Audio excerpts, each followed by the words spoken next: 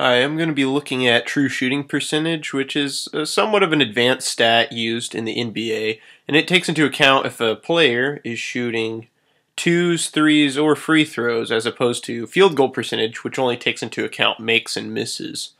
So we kind of look, I just grabbed this formula from Wikipedia for true shooting percentage. And so we have TS percentage or true shooting percentage equals points scored divided by 2 times the quantity field goals attempted plus 0.44 times free throws attempted. And it's pretty straightforward if you just want to plug in numbers and you can figure out someone's true shooting percentage, but I wanted to break it up a little bit and just kind of see what it means. And I think the some the easiest way for me anyway to do this was first I looked at the case where there were zero free throws attempted. So just looking at field goals. So if there were zero free throws attempted,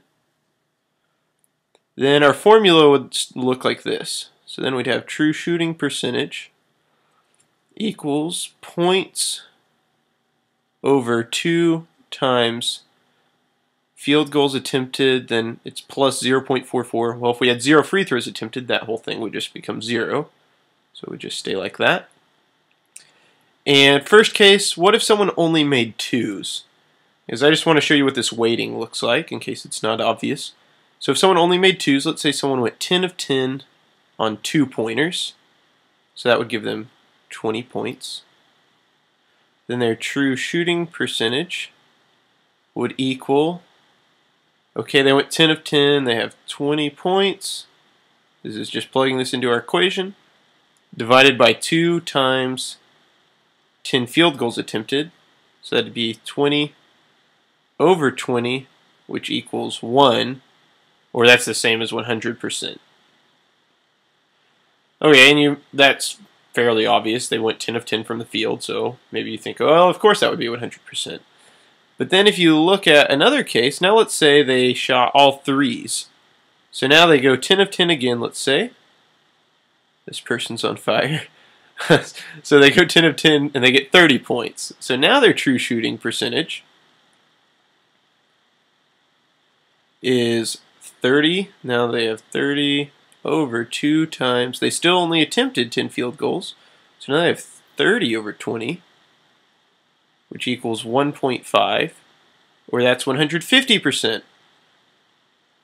And so now you can see the value of true shooting percentage because it takes into account someone who's shooting threes versus twos. Because if someone only shot threes, like here, they had the same number of field goals attempted with 10, but this person had 30 points who was shooting threes versus only 20 for someone shooting twos. And you can check for yourself.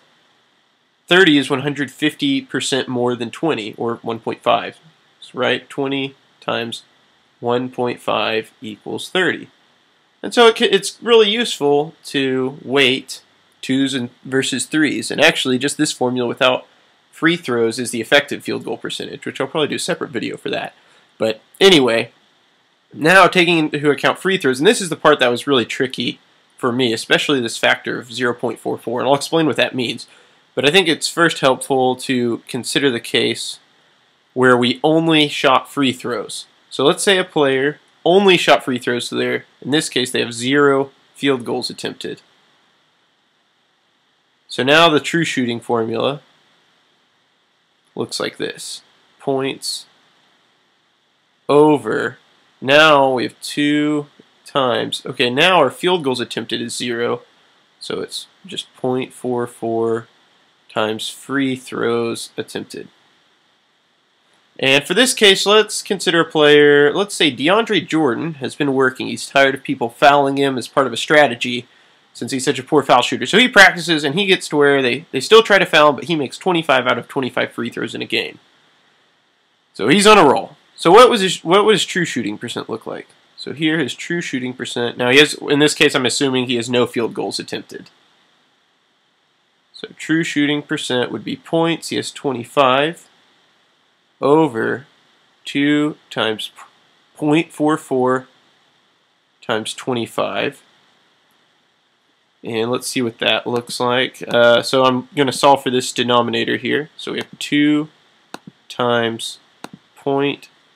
44 times 25. That equals 22. So this equals 25 over 22. Okay, so then it's true shooting percentage. Let's write that as a percentage.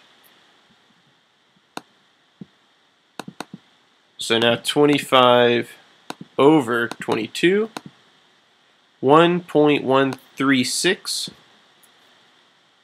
His true shooting is 1.136 or 113.6%.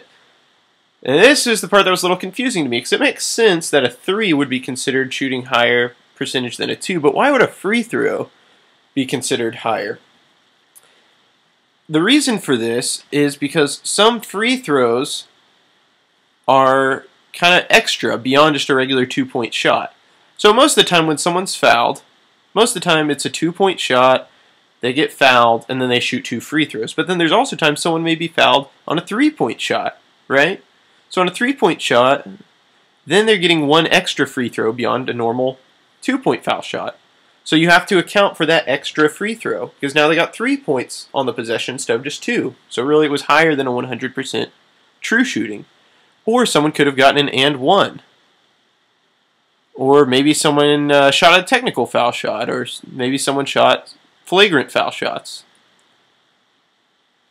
And so all these all these kind of extra free throws, the extra one on the three point, the and one, the technical, the flagrant, if we look at this 2 times 0.44, 2 times 0.44 equals 0.88, or 88%. And this 88%, that's the percent of free throws that come on a normal two-point shot where someone's fouled. This other 12% are all these, these kind of extra free throws. And on average, the reason I chose 25, you can see if we look at this fraction over here, this 25 over 22.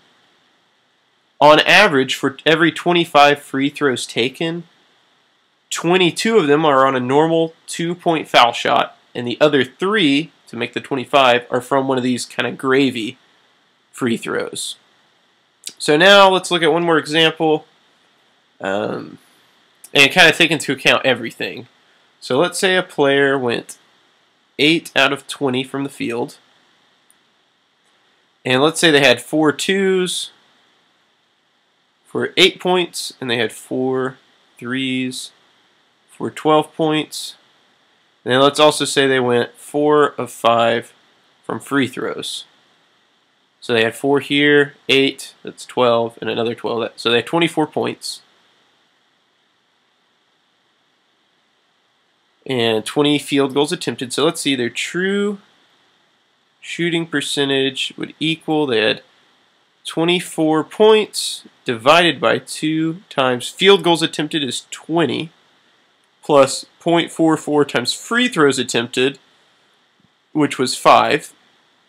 So this equals 24 over, let's pull our calculator back out.